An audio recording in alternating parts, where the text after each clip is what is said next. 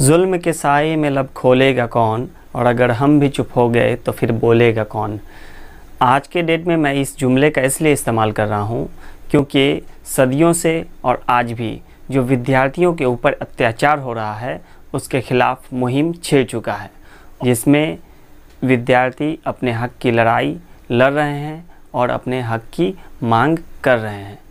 इस कड़ी में बहुत सारे लोगों ने उनका साथ दिया है और बहुत सारे लोग उनके साथ जुड़ रहे हैं।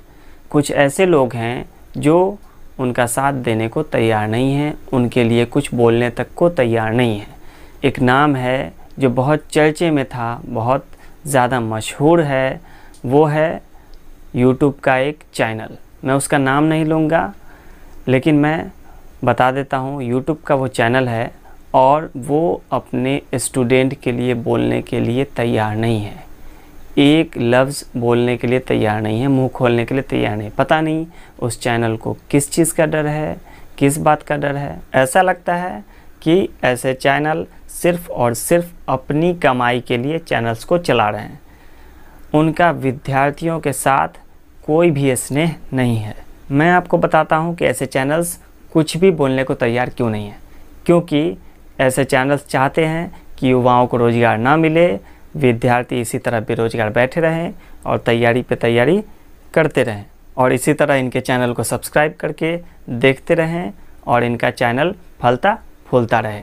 सच्चाई में ये चैनल्स सिर्फ़ बिज़नेस कर रहे हैं, इनको स्टूडेंट्स के भविष्य से कोई भी लेना देना नहीं है।